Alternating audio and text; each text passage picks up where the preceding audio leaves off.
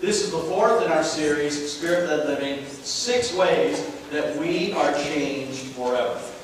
Now, I want you to understand that through the indwelling presence of God's Holy Spirit, our lives have purpose. We have a reason to live.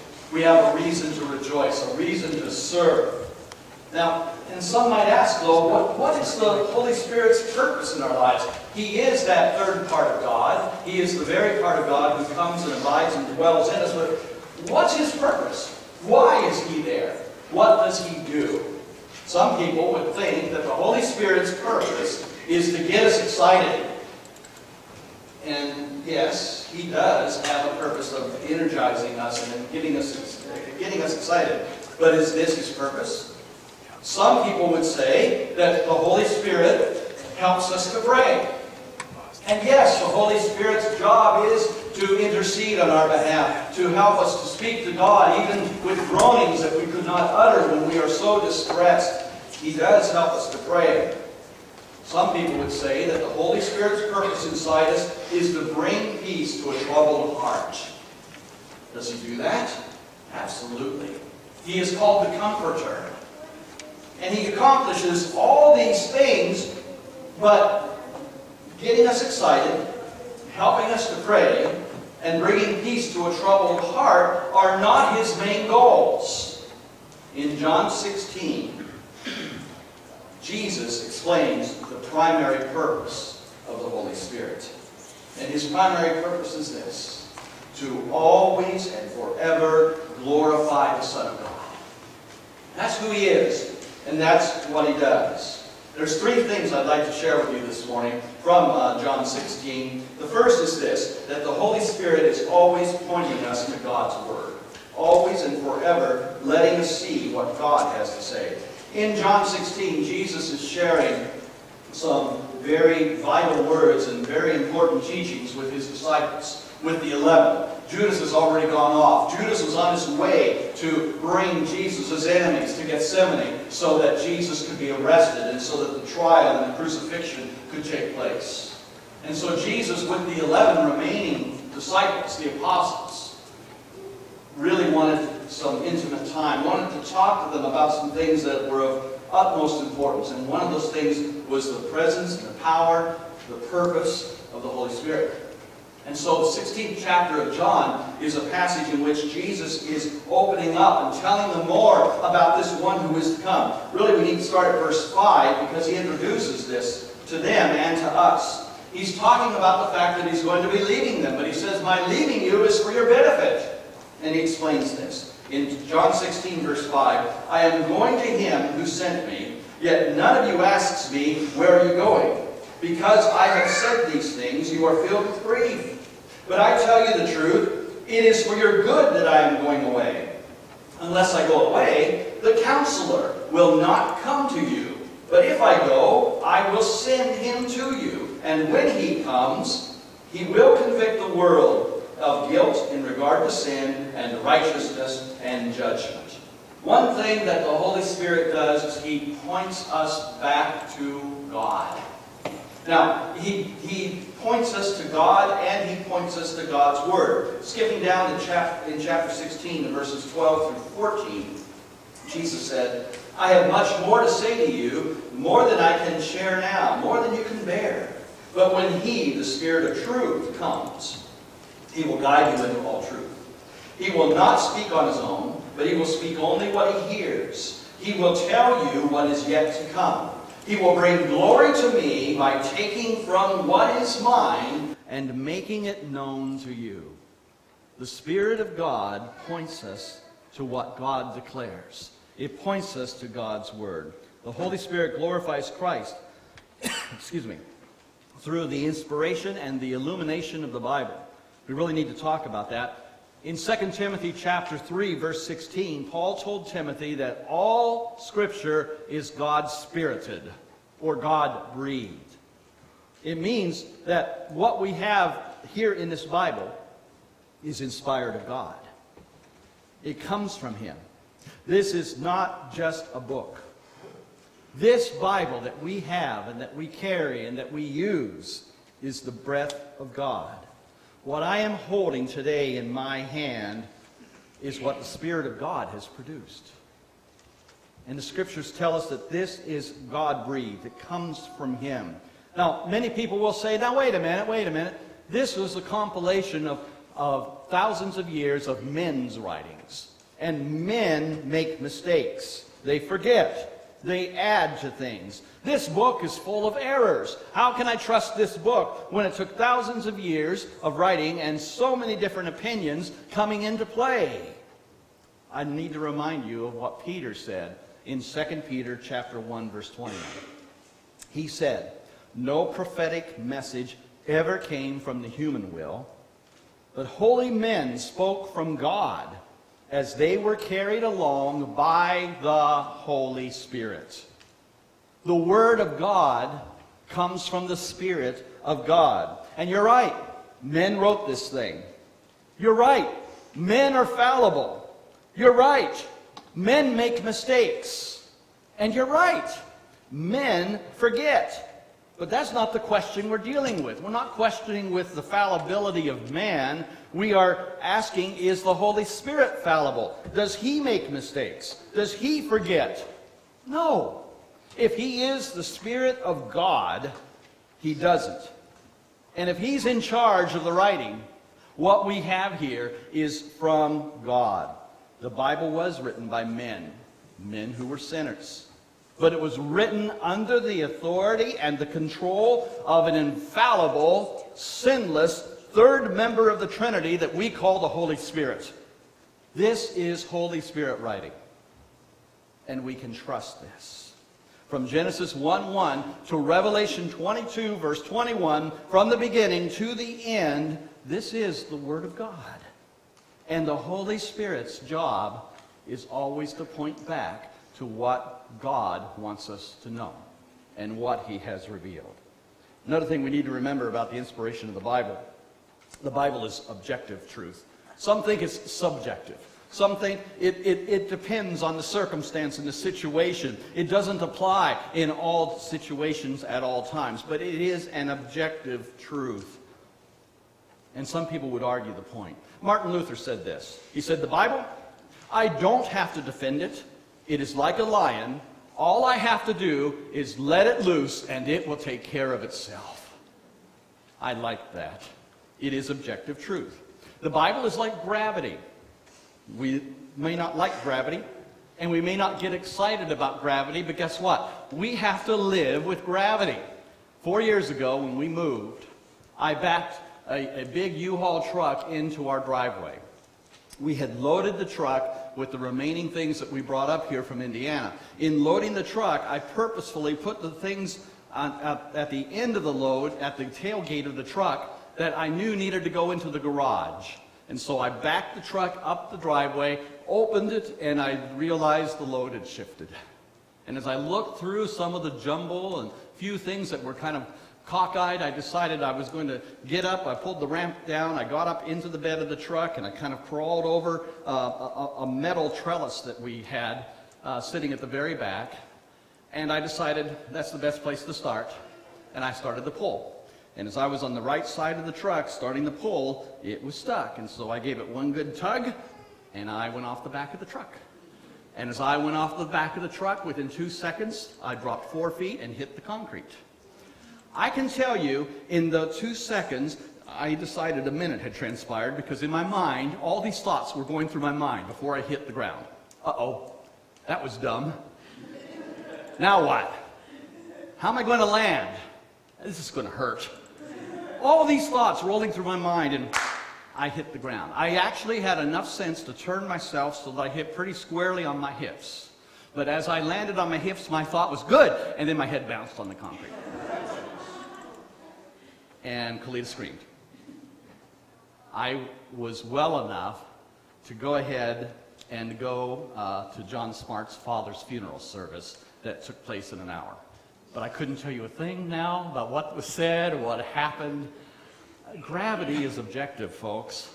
I wished it wasn't going to happen, but it did. It's something, the, the, the consequences of stepping off a four-foot rear end of a truck, you're going, to, you're going to hit the ground and you're going to hurt. God's word is objective. It is solid. It is something we can count on. This is not just another book. These are the words of God. And these words of God are, are a tool for the Holy Spirit to help us to understand how we should be thinking. We don't need to rely on dreams or on signs or on some type of audible voices because God has already spoken and the Holy Spirit gives us this. And so let's understand one of the main purposes of the Holy Spirit is, as Jesus said, to be able to understand all things. He points us to God's Word.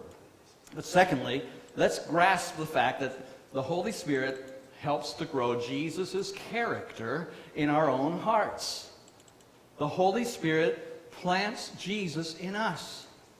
He, the Holy Spirit, is going to glorify Christ by reproducing Jesus in Christians. We have already looked at this passage from Galatians chapter 5. We studied it a few weeks ago. We talked about the fruit of the Spirit. And in Galatians 5, the fruit of the Spirit is a singular process. But there's all kinds of fruit that develop because that fruit is growing. The fruit is really Christ-like character. We're like Jesus. When we talk about all this coming off the same tree, we're dealing with the fact that all the character of Jesus, is different as, they, as we see those characters of Christ or those characteristics of Christ, they all come from him. And so the fruit of the Spirit is love and joy and peace and patience. It is kindness and goodness and gentleness and faithfulness and self-control.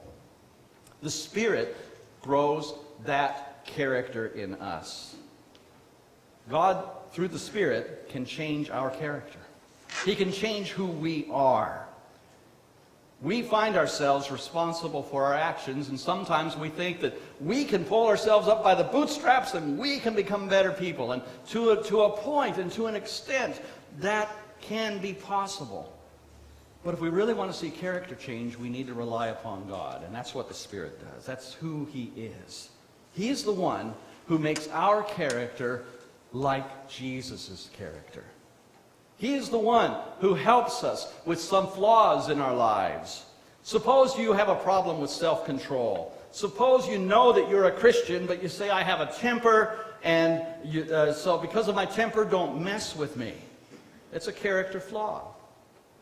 It's a flaw that results, that, that shows itself by the lack of self-control. But in Christianity, if we give ourselves over to the Lord Jesus Christ, if we allow His Spirit to plant Jesus in us, we start producing fruit that changes our character. And we let God's self-control become our self-control.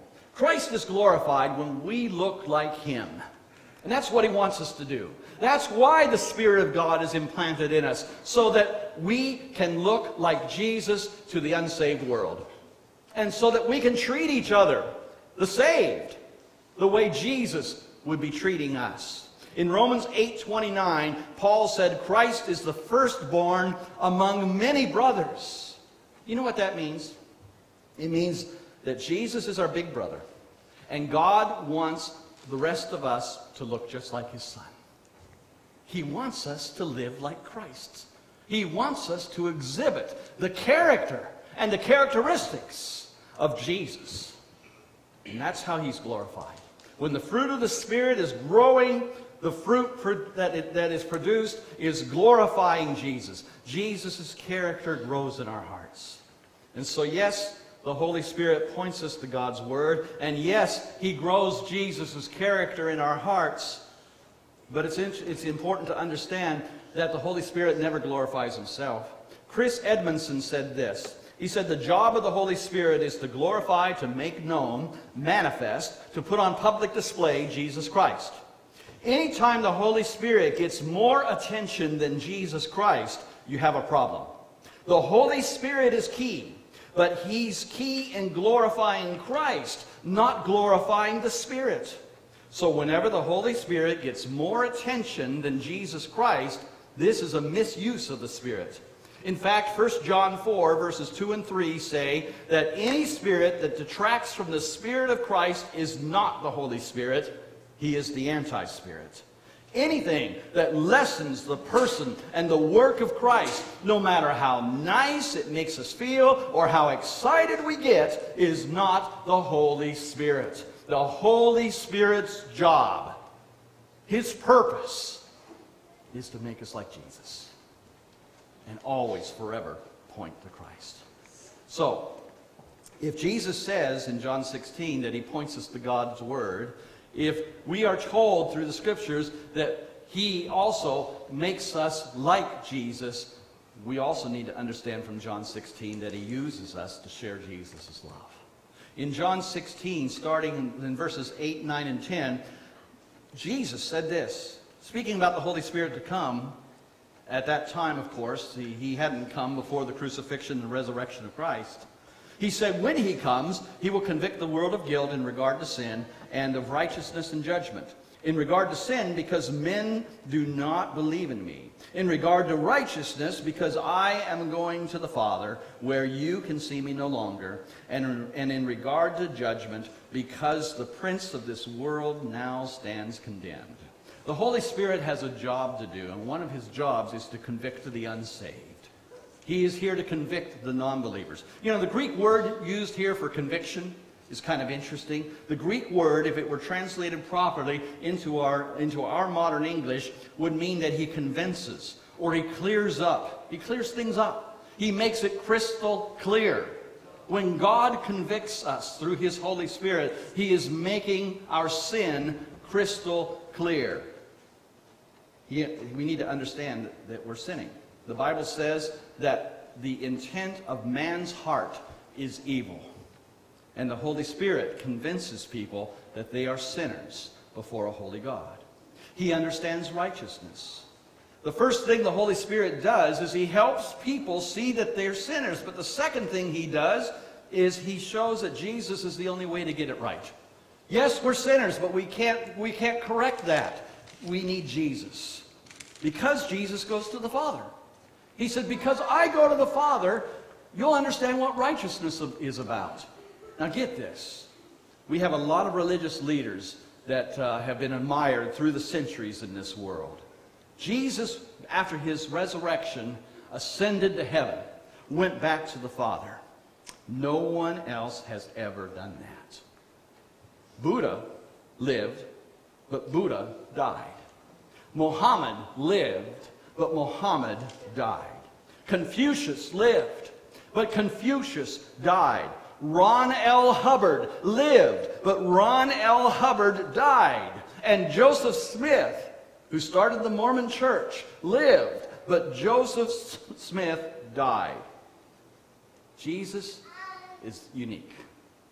He alone has gone to the Father and lives. And the Holy Spirit is convicting us of that. The Holy Spirit is also helping us understand judgment the ruler of the world's been judged. Folks, some people don't think it's right for Christians to talk about hell. Some people think that somehow we can win people without talking about the need to be saved from hell. And in fact, there's some people who are uh, who want to live on their feelings. And one of the things I've heard many times from people over the years is this: I don't feel that a loving God could send someone to hell, and so I don't want to believe in some place like that? Well, folks, whether we want to believe in it or not, it is an objective truth. And here's the point God does not send anyone to hell, we send ourselves. We send ourselves. Because of our sin, because of our uh, problems and our attitudes and our bitterness, we send ourselves to hell. God not, is not here to send people to hell, but God is here in our lives today to rescue us from what we deserve. See, the whole story of Christianity is not that God's going to send some to heaven and God's going to send some to hell. The story of Christianity is we're all doomed for hell. And God is on a rescue mission. And his rescue mission boils down to this statement God so loved you that he gave his only Son, that if you believe in him, you'll not perish, but you'll have everlasting life. Did you get that? One of those favorite verses we have in the scriptures. John 3.16 talks about hell. If you believe in him, if you follow him, if you obey him, you will not what? Perish in hell. The Holy Spirit is a convictor He convicts us to understand sin, He convicts us to understand righteousness, and He convicts us to understand judgment. And without the conviction of sin, there's no opportunity to share Jesus' love. When we talk about Him using us to share the love of Jesus, there has to be some conviction first for us to want to follow the love of Jesus. In Acts 13, there was a congregation of believers in Antioch along the Mediterranean coast. And they were a strong group of Christians. And in Acts 13, verse 2, this, uh, Luke said this. He said, While we were ministering, or while they were ministering to the Lord and fasting, the Holy Spirit said, Set apart for me Barnabas and Saul to the work to which I have called them. Now, I want you to understand something. When God calls us to serve Him, He doesn't call us from sitting on our hands doing nothing and waiting for some sign. Okay, now we get up and do something. The, the scripture's very clear. They were ministering to the Lord. They were already in service. In other words, God only will hit a moving target. We don't have to sit back and say, okay, God, what do you have in store for me today? Where do you want me to go? We just simply need to get up and do. We need to already be in service. Will Rogers said this. Anyone remember Will Rogers, the comedian from the first part of the 20th century? He said, even if you're on the right track, You'll get run over if you just sit there. God looks for a moving target. We need to be moving for the, for the cause of Christ. We need to be working for the cause of Christ. We have formed six new ministry teams in this church. And in forming those ministry teams, we're not sitting on our hands. We say that we want to know Jesus, follow Jesus, and share his love. And we want each of these ministry teams to get together. Marcia just told us about some great opportunities for fellowship. We are moving, and as we are moving toward God, He is calling us to do even greater things. Jesus said this When the Helper comes, whom I will send from the Father, that Spirit of truth, who proceeds from the Father, he will bear witness of me, and you will bear witness also, because you have been with me from the beginning.